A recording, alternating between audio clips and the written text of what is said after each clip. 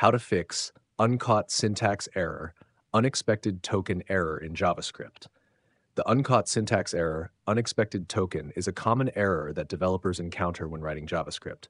This error usually indicates a problem with the syntax of your code.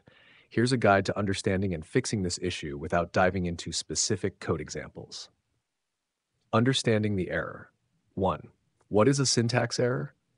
Um, a syntax error occurs when the JavaScript engine encounters tokens or constructs that are not valid within the context of the language. The error suggests that the code has been parsed incorrectly and cannot be executed. 2. What does unexpected token mean? The term unexpected token refers to an unexpected symbol or keyword in your code. In this case, the unexpected token is a, which usually denotes the start of a block of code, such as in a function, conditional, or loop. Uh, three, common causes of the error. Misplaced braces. One of the most common causes is placing the in the wrong position or using it incorrectly within the code structure. Missing or extra characters. The error can also occur if there are missing or extra characters, such as parentheses, semicolons, or other punctuation marks that disrupt the normal flow of the code. Incorrect use of keywords.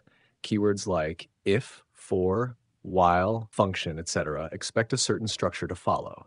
If is used incorrectly, it can trigger this error. Have steps to fix the error. 1.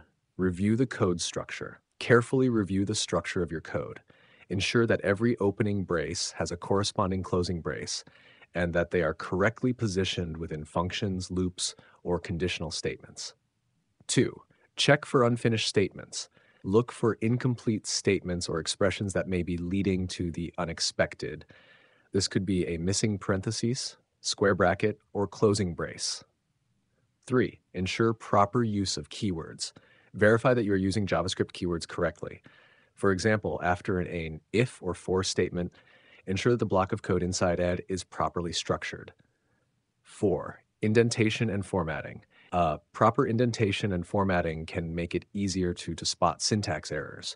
Ensure that your code is neatly formatted with consistent indentation for blocks of code.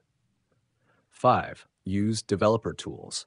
Most modern web browsers have developer tools that can help pinpoint where the error is occurring. Use the console to identify the exact line and context where the error is thrown. 6. Consult documentation. Uh, if you're unsure about the correct syntax for a particular construct, consult the official JavaScript documentation or trusted online resources. This can help clarify how braces should be used in different contexts. 7. Peer review or rubber duck debugging. Sometimes a fresh set of eyes can help identify issues that you might have overlooked. Um, ask a colleague to review your code or explain your code out loud to a rubber duck, a debugging technique where explaining your code helps you find the error. 8. Test incrementally.